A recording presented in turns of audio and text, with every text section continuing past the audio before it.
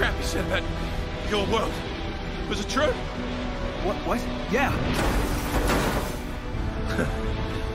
Lucky you.